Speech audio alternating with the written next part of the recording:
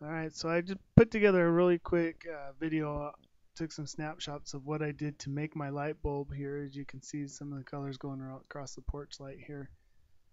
What I was looking for was for an RGB light that I could actually control with my LOR controllers so that I can control when the colors came on and what what colors came on actually. So this is the light fixture that I have on the front of the house, on the garage and across the porch. Um, as you can see, it's just a regular light. So what I did is I started out with the 2-inch test cap is what it's called. I found it in the plumbing section. I took and cut off that um, the little nub so it made a nice flat surface here on the top of it.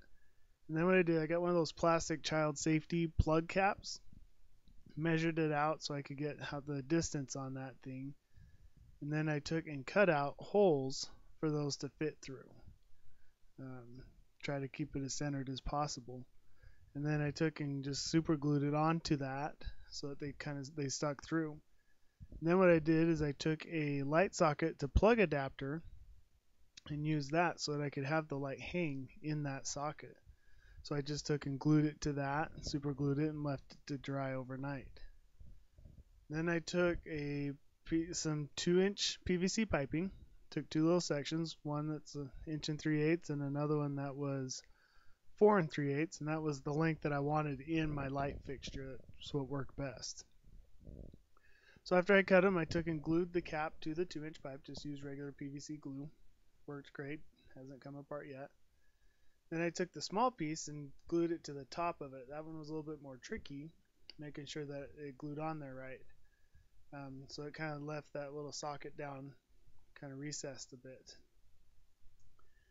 And then I took and I taped them together to keep it from sliding off because it would slide if I didn't. And then I left it to dry. Then I took a 2 inch drain, that's pretty much what it is, just a drain. Took the sticker off and glued it to the bottom of that pipe section. It's a little hard to see here and we'll come back to reason why here in a minute. Then I took some strip lighting. I used the I think it's the 60 lights per meter. It's got the 300 lights total on the strip, so there's twice as many lights, just from 50-50 regular RGB strip lights, and just wrapped it around the pipe.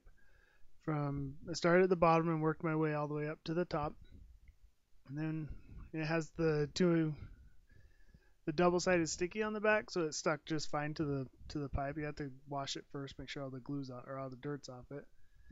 And then I took and taped the top of it on just to keep it from unraveling um, over time.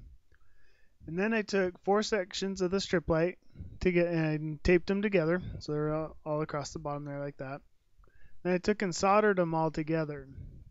Um, I'm not sure if they're all in series or parallel here, but that's how it ended up being soldered with a little bit of a strip on the end. And then I took and glued that to the bottom of the light, which is why I needed that flat drain section on the pipe. I took and glued it, and then I just taped it on, let the glue dry overnight so it wouldn't come off again.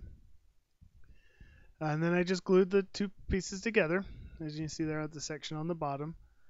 Uh, so, you know, obviously, you know, and then um, took some silicone, some waterproofing silicone, and just siliconed all the ends and all the exposed wires and solder joints. And I just let that dry for a day or two to make sure that it was completely dry. Then after that, as you can see at the, the light fixture here, what I ended up doing to make this work for my case is I actually took the bottom of the light fixture off. Uh, it just unscrews the glass part there, and then I stuck the wire through the top and then put it back on.